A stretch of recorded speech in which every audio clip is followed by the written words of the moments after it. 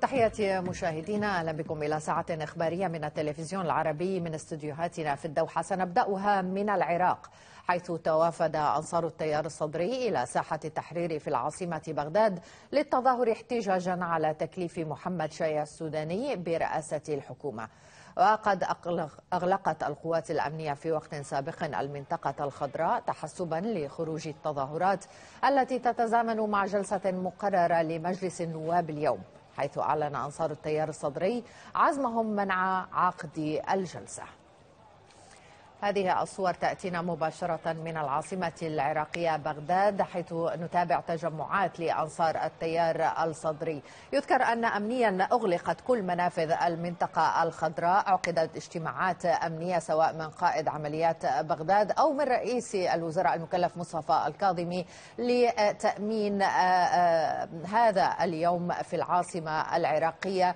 قائد عمليات بغداد قال إن الخطة الأمنية قائمة لتأمين مظاهرات اليوم التي أعلنها التيار الصدري احتجاجا على عقد جلسة للبرلمان مخصصة لمنصب رئيس الجمهورية متابعة للوضع في العاصمة العراقية عبر الهاتف ينضم إلينا الآن مراسل تلفزيون العربي تحسين طه. تحياتي تحسين.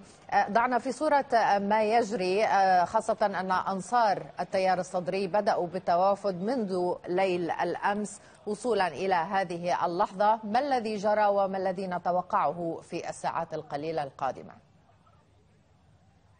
نعم يعني قبل قليل تمكن المتظاهرون من عبور جسر الجمهورية باتجاه الذهاب إلى المنطقة الخضراء واقتحام أسوار المنطقة الخضراء رغم أن هنالك كانت مجموعة حواجز من يعني الكتل الكونكريتيه موجودة كانت في أربعة اطواف إلا أن المتظاهرون لكثافة أعدادهم يعني تمكنوا من عبور هذه الحواجز جميعا واختراق هذه الحواجز رغم انتشار القوات الأمنية التي لم تستطع يعني مواجهة هذه الحشود الكبيرة. وبالتالي يعني من المرجح جدا يتم اختراق أسوار المنطقة الخضراء مرة أخرى كما حدث يوم الأربعاء الماضي، نحن الآن باتجاه المنطقة الخضراء وتحديدا يعني مدخل جسر الجمهوري. نرى هنالك يعني عملية قطع للشوارع من قبل القوات الأمنية ورجال شرطة المرور، كما أن هنالك يعني نشاهد من بعيد توافد أعداد كبيرة من المتظاهرين وهم يريدون طبعا عبور جسر الجمهورية والذهاب إلى المنطقة الخضراء. كما يعني أيضا شاهدنا مجموعة من الصور والفيديوهات التي تم تداولها على منصات مقربة من التيار الصدري تؤكد وتوثق يعني عملية الاختراق والعبور باتجاه المنطقة الخضراء. يعني هذا حتى هذه اللحظة يعني المشهد يبدو أنه سوف يتكرر كما حدث يوم الأربعاء الماضي. طيب نعم. تحسين دعنا يعني نستذكر سوية ما بين يوم الأربعاء التي خرجوا فيها فيه أنصار تيار الصدري احتجاجا على تكليف محمد شيع السوداني من قبل الإطار التنسيقي، اليوم الجلسة مخصصة لمنصب رئيس الجمهورية وكان هناك تهديد واضح وصريح من التيار الصدري بأن المظاهرات ستنطلق في حال عقدت هذه الجلسة، ما بين الأربعاء والسبت تحسين ما أبرز ما حصل؟ حقيقة يعني لا يوجد جلسة اليوم هنالك تأكيد كان ليلة أمس من اللجنة القانونية النيابية بأن لا يوجد هنالك جلسة لعدم وجود التوافق ما بين القوى السياسية سواء في البيتين الكردي والشيعي، م. يعني على الرغم من أن هنالك كان حديث عن يعني قرب الحسم وتأكيدات من قيادات يعني رفيعة بأن الحسم بات قاب قوسين أو ادنى وأن هنالك إمكانية لتمرير الحكومة ويعني بتكليف من رئيس الجمهورية في الجلسه أقرب جلسة وكان الحديث عن جلسة السبت لكن لم يتم تحديد موعد الجلسة رسميا. وكان هنالك تأكيدات من نواب عدم انعقاد الجلسة كما أن هنالك اشتراطات من كتل سنية وكردية لحضور الجلسة. أيضا لم تتحقق هذه الاشتراطات. وبالتالي يعني الإطار التنسيقي شكل لجنة من قياداته العليا. للتفاوض مع هذه القوى واثنائها بمحاولة يعني إكمال النصاب القانوني للجلسه وهو يعني ما يقارب من 220 نائب. وهذا طبعا صعب يتحقق ما لم يكن هنالك توافق أي ما يشكل ثلثي عدد مجلس النواب.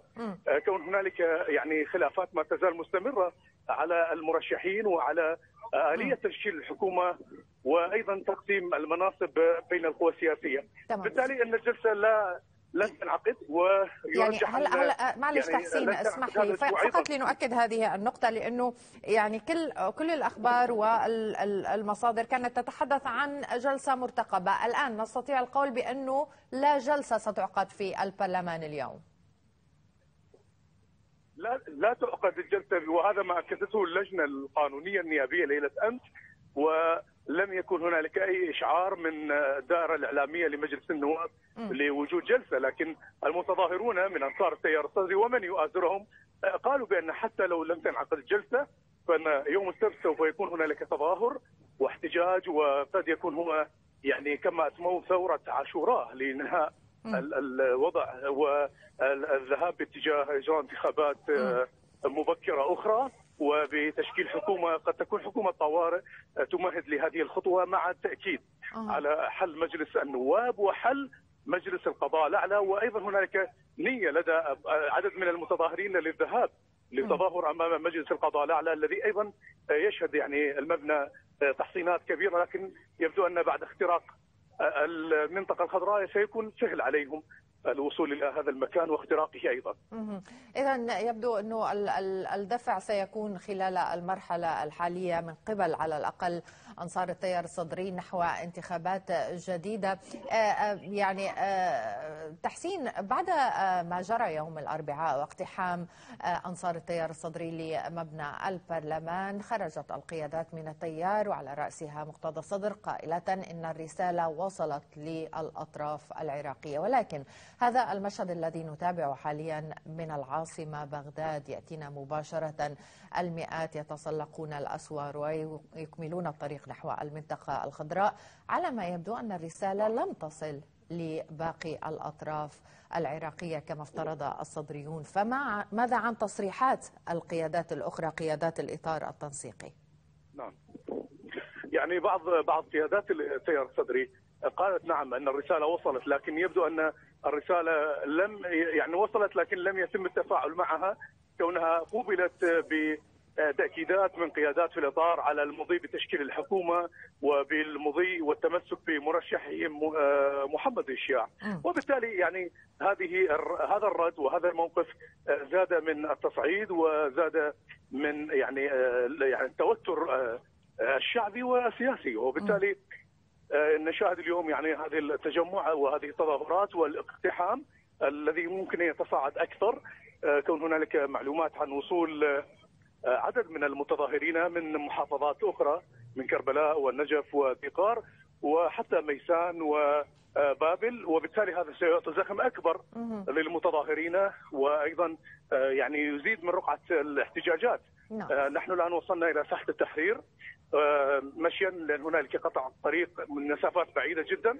وبالتالي نشاهد الآن الساحة يعني فيها انتشار كبير للمتظاهرين وأيضا القوات الأمنية متواجدة لكن يعني بأعداد قليلة من قوات الشرطة الاتحادية. أما مكافحة الشغب فلم لا نشاهد الآن لأن هنالك يعني عملية عبور قد تمت للحواجز. نشاهد الآن يعني بشكل واضح بأن هنالك تجمع أمام القطوعات الموضوعة أمام المتظاهرين.